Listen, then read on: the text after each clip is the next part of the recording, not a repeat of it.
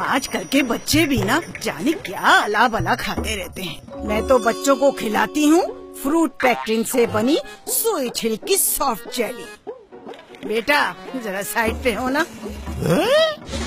देखने में सॉफ्ट है पर झटके लगाए मुँह में रखते ही घुल जाए। स्वीट हिल की सॉफ्ट जेली खाओ बड़े हो जाओ।